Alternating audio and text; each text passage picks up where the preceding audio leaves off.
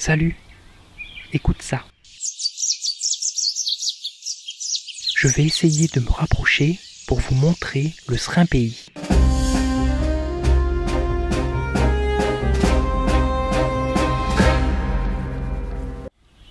Le serin du Mozambique, qu'on appelle ici serin pays, a été introduit vers 1750. C'est un petit oiseau jaune et gris, différent du bélier.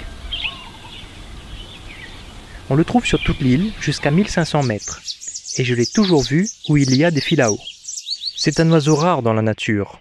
On le trouve plus facilement ici, car malheureusement, il est souvent braconné. On a une paix dans l'habitation.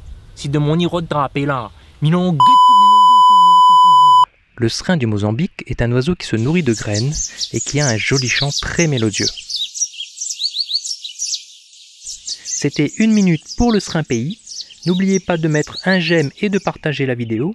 A bientôt. Moi je vais rester pour profiter encore un peu.